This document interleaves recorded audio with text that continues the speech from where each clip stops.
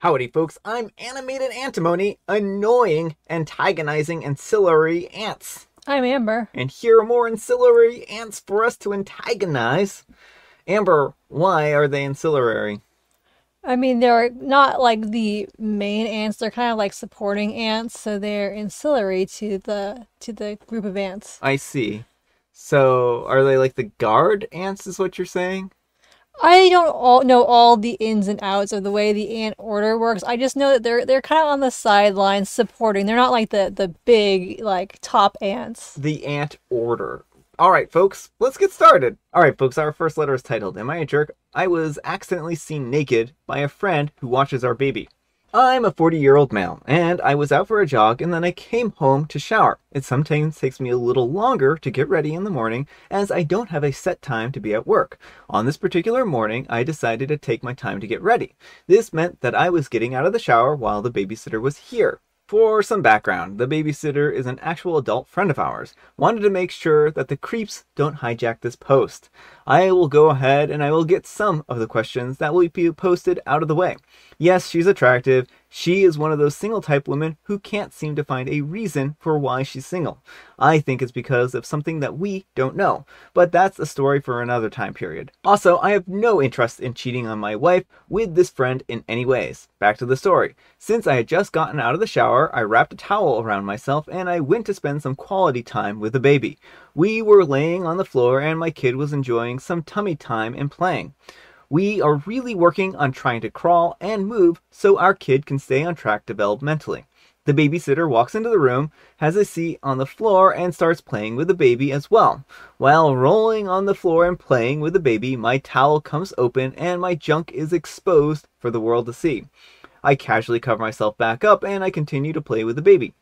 The friend slash babysitter immediately jumps up, starts grabbing her stuff, and then rushes towards the door. I start asking her what's going on. Are you okay? Is something the matter? And she says, I can't believe you just did that. What's wrong with you? You're sick. And on and on and on. I'm like, is this because you saw me partially slash fully naked? And she said yes, and slams the door on her way out while calling to work to reschedule the meeting and trying to get a hold of the babysitter, I get a frantic call from my significant other, a 37 year old female, asking what I did to the babysitter slash friend. I said nothing really. My towel just happened to fall off while I was playing with the baby. She goes off and telling me that I'm the jerk for doing this and that I should have put some clothes on and I shouldn't have been wearing a towel and so on and so forth. I'm like, sure, cool, whatever. But you guys are making a big deal out of nothing. We're all adults in this situation, and we've all seen plenty of naked bodies. I didn't make any moves. I wasn't trying to suggest anything, and I definitely wasn't trying to hurt anybody's feelings. Friends and family have come down on both sides of the issue. So, internet, am I the jerk? All right, folks, what do you think? Jerk or not the jerk? Yeah, I Innocent accident or no? I think OP is being the jerk here, and uh, I don't buy that it was all an innocent accident. I understand, like, if you're really close friends with someone, you might be okay walking around the house in the towel, but it sounds like they have more of a not a super close relationship, and it just it gives me very creepy vibes. Okay, so my question is this OP is friends with this person, and his towel pops open, right? And instead of doing what I think most people would have done and just immediately started apologizing and saying, oh my goodness, I'm so sorry, let me go get clothes on, I did not mean for that to happen. He just kind of shrugs it off and is like, eh, it's no big deal. Yeah, well, that's the thing is like just his casual attitude this whole time makes me really like, it makes it feel deliberate and or like he has very very different uh morals than the rest of us so i don't know i mean i would love to believe him when he says that he's not attracted to this person and not trying to make any moves. But I kind of feel like he may have wrote this post explicitly to reassure his wife that mm-hmm. look, sure, there's nothing that's going on here. Everything's kosher. Everything's great. And I'm not trying to be gross. Unfortunately, it just really seems way too coincidental. It's like mm-hmm. it, it, it just doesn't see, it doesn't pass the sniff test. Well, and even if we wanted to give him the benefit of the doubt, the moment he realized that she was uncomfortable, he should have completely changed his actions. Like he shouldn't be dismissing her and his wife and be like, "Oh, you two are freaking out over nothing," because if you make someone uncomfortable, even if it's not intentional, that's still on you. Yeah, well, and then also here, he at the end there, he's like blowing off his wife too, Mm-hmm. right? He's blowing everyone off. He's only caring about what how he feels, and he's like, "This isn't a big deal." People have seen other people naked all the time. I don't understand why she's freaking out about this. Like she's lo- just acting irrationally. Well, and the thing is, like, you never know what kind of bad experiences someone has Yeah. or what kind of scary things they read about. Like, this may very well have been like the start of a horror movie in her mind, you know? And again, even if he didn't intend for it to be that way, he has to recognize that his intentions do not dictate her internal responses, and he has to be cognizant of that. Yeah. And I mean, I think the wife has probably the best point. Instead of going downstairs and playing with the baby in a towel when you Mm-hmm. know somebody is going to be over, Yeah.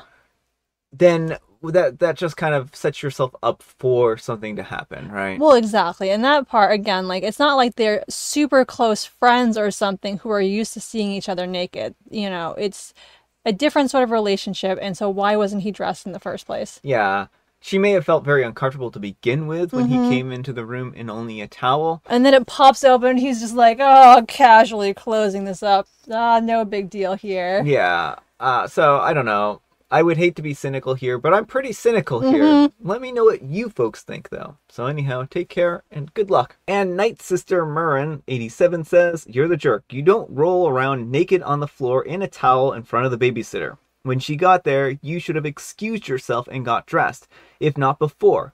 How would you feel if your employer waved his private parts around in your work area?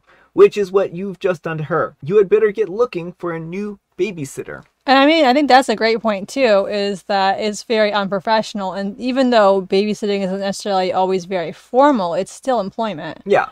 And Naya Cells 11 says, I feel bad for the ex babysitter, but I feel awful for his partner. She has such a huge problem. And OP replies, Please explain. and Mediocre Asparagus 25 says, You're the jerk. You definitely should have apologized immediately after the incident and gotten dressed. You also sound like you're leaving things out. You knew the babysitter was coming. You should have already been clothed. It is a big deal if she feels like it is. Is it really that hard to just say sorry instead of blaming the babysitter for your carelessness? And OP replies, I'm not blaming the babysitter, and I did apologize. I just think it was an overreaction. And S Boy Tashi says, It's not an overreaction. You overstepped normal human boundaries. Nobody wants to see your junk, especially the babysitter. The fact that you kept playing afterwards makes you a jerk. And OP replies, That's a valid view, and I thank you for not assuming the worst. They didn't say they didn't assume the worst, though. And Luxaville says, You're the jerk. Why are you wearing only a towel around the babysitter? Why are you rolling around on the floor with just a towel on with the babysitter around? Why would you think a woman you just flashed wants to stay and would not be offended by that, rather than you putting on some pants to start with? And what's with all this period? This is the most suspicious I'm not trying to get with the babysitter alibi post I've ever seen. And edit a ad, you have an awful lot of posts in adult content subreddits, my guy. And edit to deleting your comments won't absolve you of guilt. Hmm, seems like someone may have been trying to play out a fantasy. And OP replies, again, not interested in the babysitter and definitely not minimizing feelings, but I would think knowing someone for years would garner some leeway.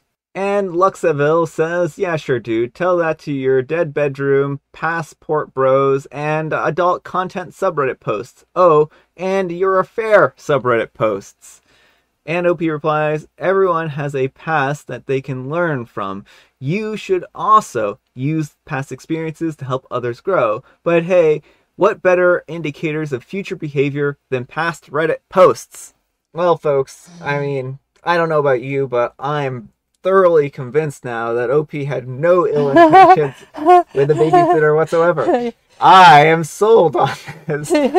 yeah, got nothing to see here. Nothing to see at all, folks. Let's let's move along. Let's move along before more come out. Speaking of inappropriate posts, our next post is titled "Will I was I the jerk for not impregnating my sister-in-law?" I will keep this as short as possible. I'm a 35 year old male, married to my wife, a 31 year old, five years ago, and we've lived together for eight years. We had our first child four years ago and a second child a year ago, both boys. Her sister, 33, has been married for seven years and in that time has had one child, a boy. After the birth of her child, her husband was in an accident and can no longer produce another child. My sister in law and her husband approached my wife to see if I would be interested in donating in order for my sister in law to give birth to one more child. My wife thought that this was a great idea and made the decision for me to proceed with the process without consulting me. I was against it at first, but I came around to the point where I was willing to speak with a fertility doctor, but I let them know that I was not saying yes at this point, as the whole idea seemed weird, as my kids was essentially be half siblings to this new child. Well, after the meeting with the doctor, it became very clear that this was not an option for my sister in law, and she does not work, and her husband only makes around 50 grand a year they could not afford the procedure. They asked my wife and I to help offset the cost, but that was not an option that I was willing to explore as I only make about $85,000 a year and we recently purchased a new house and are trying to invest in college funds, etc. It was a hard no for me and my wife was okay with that, but I think that she would have found a way to get them some, if not all of the money. I told her that she could put that decision on me and she did exactly that. Well, my sister in law is upset. She called me selfish, and it turns out that my sister in law knew that we had quite a bit of money set aside in the kids' college fund, as before the kids were born, my wife was working. And we put away a lot of money that we eventually turned into a college fund for our kids. We have roughly 45 grand set aside, which I don't think is enough, and we keep adding to it as we can. Anyways, a couple of days ago go by and things seem to have calmed down, but my sister-in-law then asked my wife if she could essentially sleep with me in order to get pregnant. My wife was vehemently opposed to this at first, but after her sister explained that she wasn't attracted to me and that there would be no passion, it was just a means to an end. My wife thought that it might be a good idea. To be clear, my sister in law's husband is okay with his plan. My wife asked me to go ahead with it, but I refused. I told her that they can adopt a kid out of foster care if they want another kid that bad. Now, my sister in law is mad at me along with my wife as she believes that this would just be a good way to help them have another child.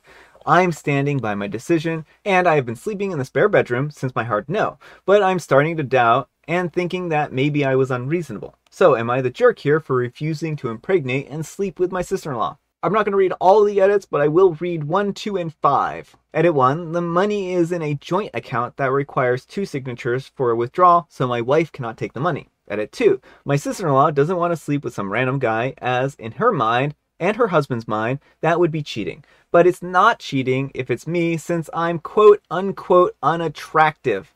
I'm at work and I will edit when possible, but cannot possibly respond to every comment. I appreciate all the support, as I strongly felt that I was in the right. I won't feel guilty anymore, even if I was just feeling a little guilty. Edit 5. My wife has always been manipulated by her sister.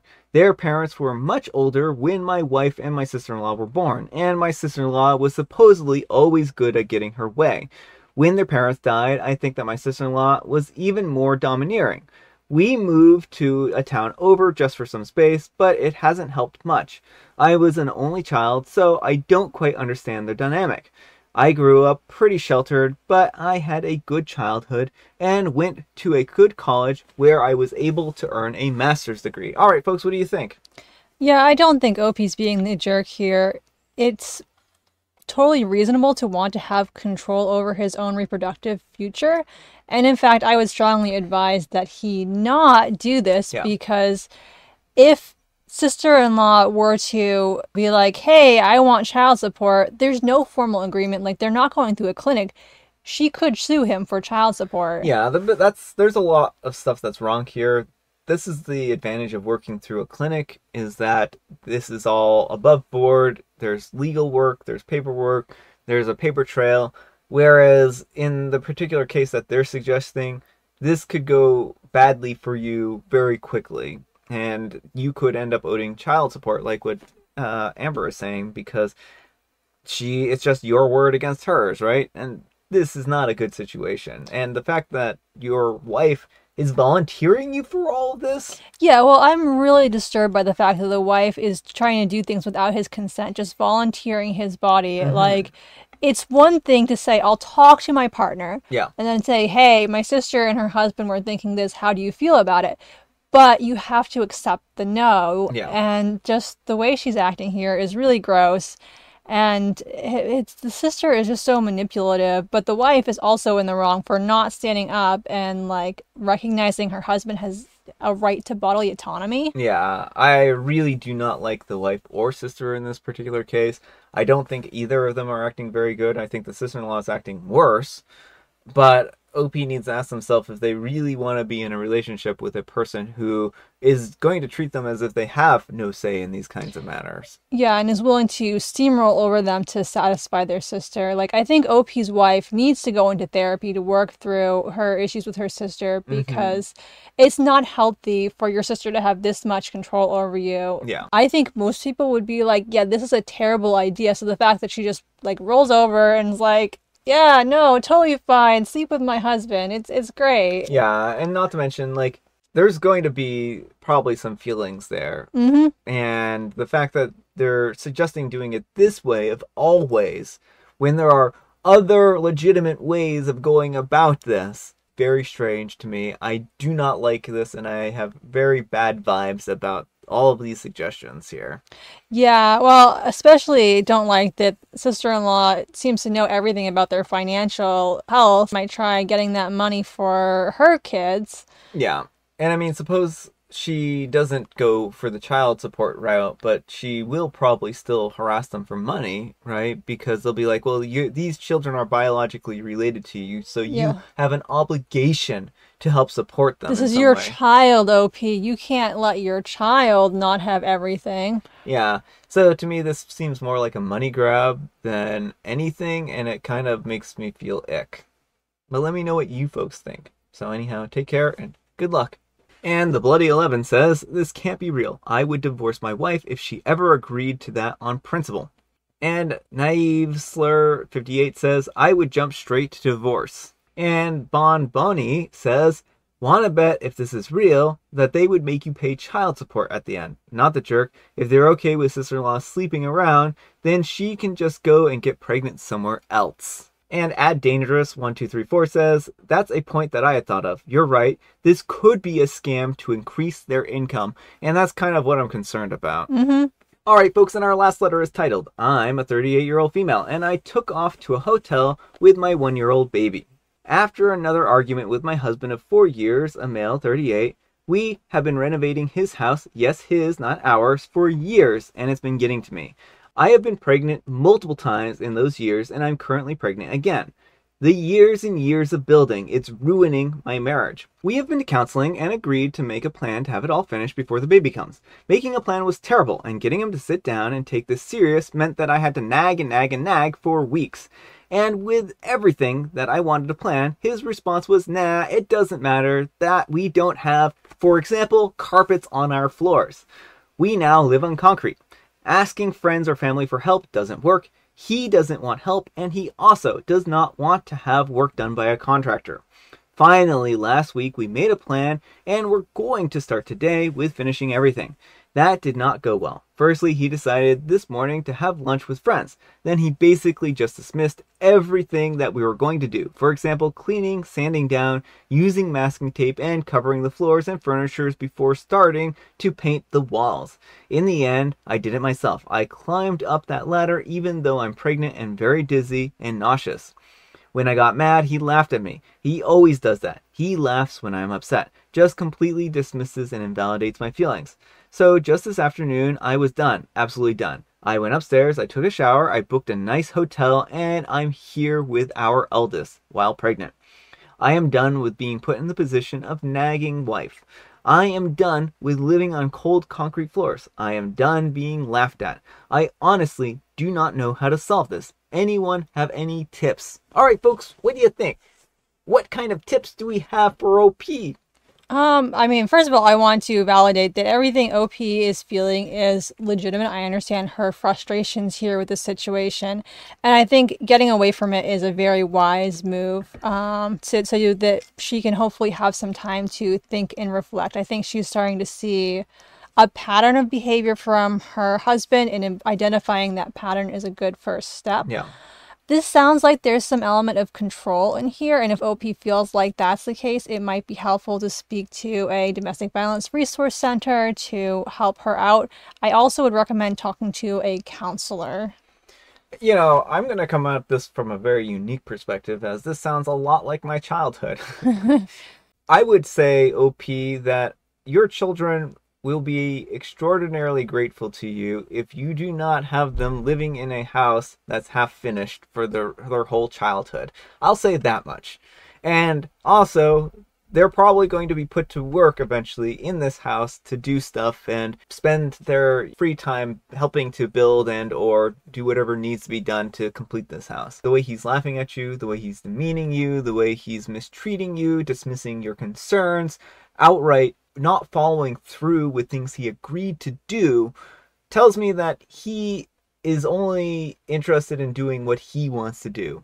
I don't think that this is necessarily a great environment for the kids to be in. No, I agree completely. And I, I would recommend a domestic violence resource center because they can help OP figure out the best steps for dissolving this union. Because he does sound very like the way he laughs at her. There's some hallmark abuse in this. The way, just the whole way he treats her Yeah. as is just not very good. So yeah, I agree completely. This this is not a good environment to raise children in, and it's also not a good environment for OP to be in, where she's being treated like her feelings don't matter. Yeah, well, and then also, what happens if his behavior spills into like how the kids are too? So, for instance, if his idea is that he can't ever get external help, right?